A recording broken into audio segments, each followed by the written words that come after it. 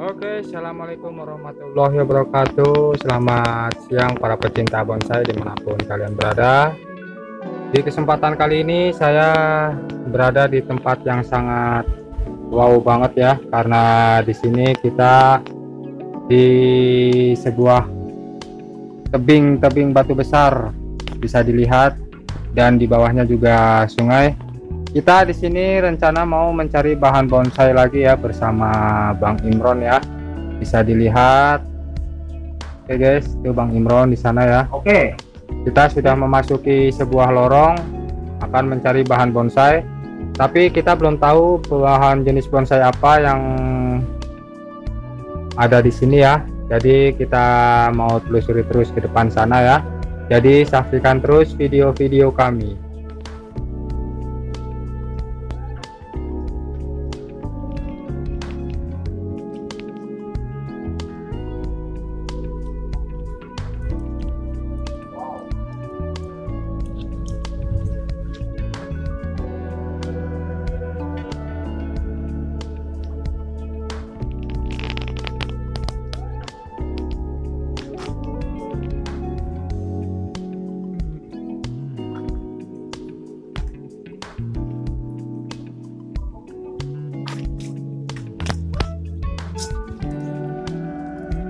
Oke, jadi sini bebatuan ya.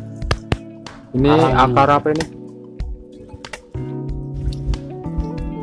Seperti batu karang. Oke, yuk kita lanjut.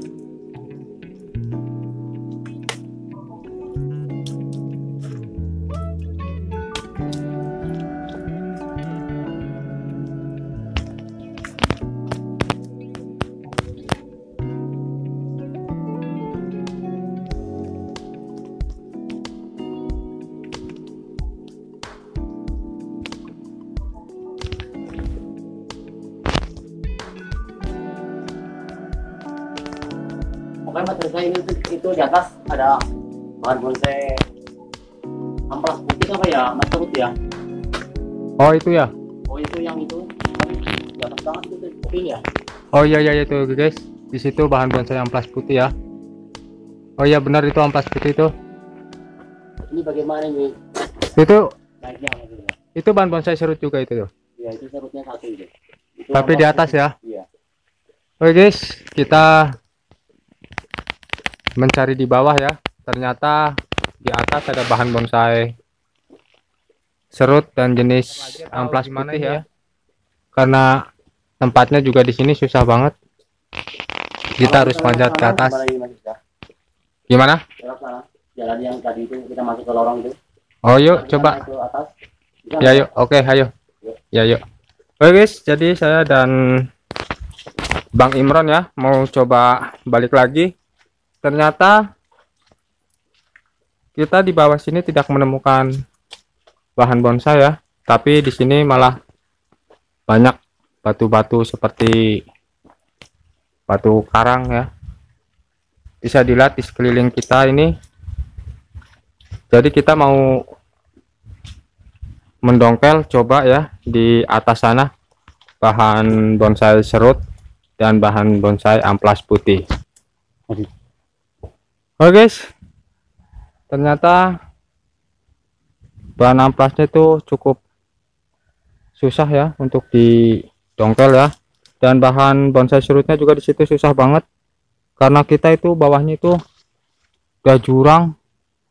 Ya tadi kita di bawah dan sekarang kita pindah ke atas ternyata malah sesampai di atas kita tidak bisa mengambil bahan amplas putih oke Mas Imron sekarang kita mau ke mana lagi nih? Yuk kita lanjut yuk ke itu sana ya. ke daerah sana ya? Iya. sana ya. Oke guys kita sudah ada di atas ya. Tapi sebelum kita mendongkel bahan bonsai serut tadi ya sama amplas putih kita mau izin dulu sama warga sekitar ya karena di sini juga kayaknya itu masih perkebunan pribadi. Oh itu Mas Imran Mas Imran gimana Nggak boleh Mas Rizka, bahaya.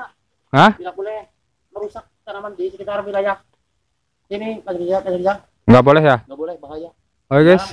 Jadi di sini tadi Bang Imron sudah apa minta izin dengan warga ya ternyata di sini dilarang keras ya Benar, tidak keras. Bahaya. dilarang keras ya nggak boleh didongkel ya karena tempatnya juga cukup jurang ya ini Mas Imron. Ya, ekstrim banget. ekstrim di sini.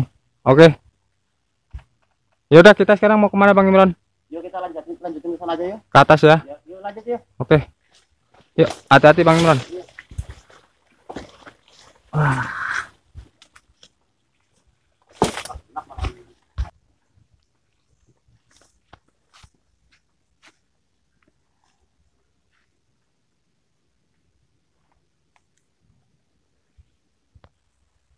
Langsung saya ya. ya ya guys ternyata tadi kita di atas nggak ngedapetin bahan bonsai ya tapi sekarang malah ternyata kita di sini di pinggir sungai kecil ini Bang Imron lagi coba mendongkel bahan ampas putih juga ya Bang Imron ya Ya mantap.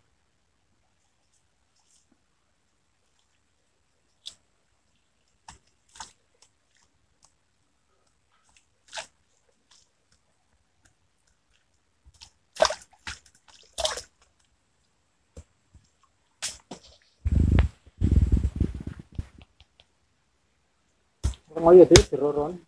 Hah? Orang itu jero. Bro.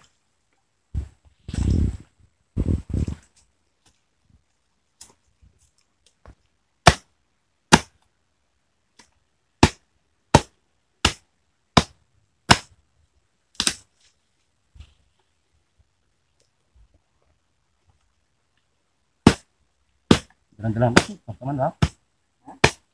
Harus sejarah di foto. Orang ngomong Enggak kan sudah bilang kalau ngomong jangan. Jelas mana. Alang.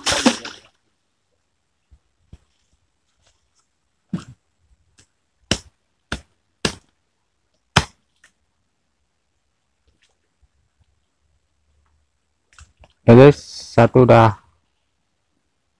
berhasil didongkel Bang Imron ya itu masih ada bahan satu ya Mas Imron Ya, masih tinggal satu lagi. Ini apa?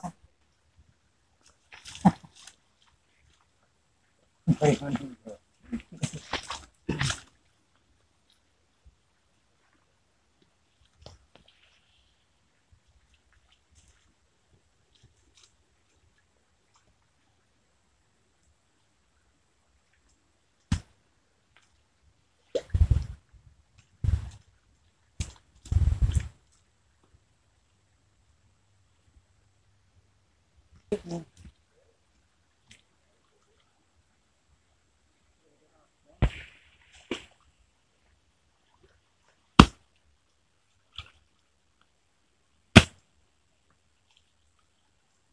guys, bahan yang kedua sudah dapat juga ya sama Bang Imron ya. Jadi kita tadi nggak berhasil ngambil yang di tebing ya. Jadi kita sekarang mendapatkan bahan bonsai malah di pinggir sungai ya Mas Imron. Ya, bonsai amplas ini amplas hitam, ini amplas putih. Oh, ini amplas hitam dan amplas putih. Oke, kita mendapatkan dua bahan bonsai amplas hitam dan amplas putih. Siap.